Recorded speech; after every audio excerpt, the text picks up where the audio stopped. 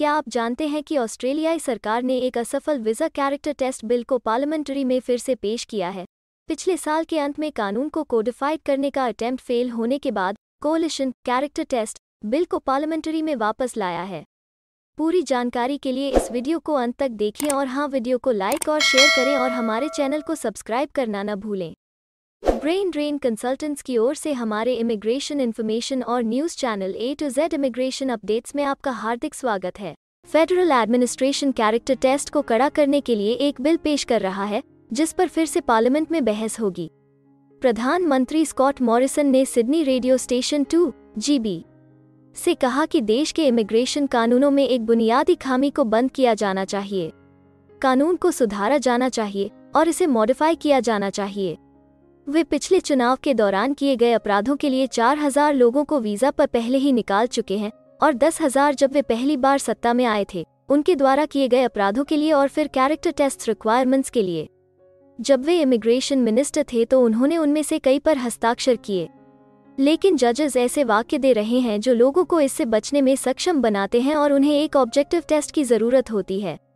Proposal में non citizens के visa cancellation करने का प्रोविज़न होगा अगर उन्हें वायलेंट अपराधों के लिए दोषी ठहराया जाता है, लेकिन 12 महीने से कम जेल की सजा सुनाई जाती है। ऑपोजिशन सवाल कर रहा है कि क्या बदलाव ज़रूरी हैं। लेबर सेनेटर मरी का कहना है कि यह साफ़ नहीं है कि इमिग्रेशन मिनिस्टर को किन एडिशनल पावर्स की ज़रूरत है। इमिग्रेशन मिनिस्टर के पास पहले से ही वे पावर्स हैं जो वो कहते हैं कि उन्हें इस कानून के ज़रिए ज़रूरत है। उसके पास पहले से ही गंभीर क्रिमिनल्स को डिपोर्ट करने की शक्तियाँ हैं।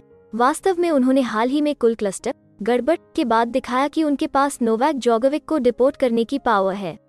अगर सरकार के पास नोवैक जोगोविक को डिपोर्ट करने की पावर है तो सर्टनली उस तरह के गंभीर अपराधियों को डिपोर्ट करने की भी पावर है जिसके बारे में वे बात कर रहे हैं। हमें उम्मीद है कि हिंदी भाषा में इमिग्रेशन से जुड़ी ज़रूरी और सही जानकारी पहुँचाने की हमारी कोशिश आपको पसंद आ रही होगी। कृपया कमेंट में अपने सजेशंस और फीडबैक्स ज़रूर दें। और हमें सपोर्ट करने के लिए हमारे चैनल को लाइक शेयर और सब्सक्राइब ज़रूर करें। और हाँ बेल आइकॉन को दबाना मत भूलिएगा।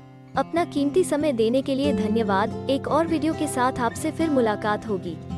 अगर आपको किसी और मदद की ज़रूरत है या फिर आप अपने विदेश जाने के सपने के लिए किसी भी चीज़ में पूछताछ करना चाहते हैं तो आप हमारी रजिस्टर्ड माइग्रेशन कंसल्टेंट्स की टीम के साथ एक एक्सपर्ट काउंसलिंग सेशन बुक कर सकते हैं।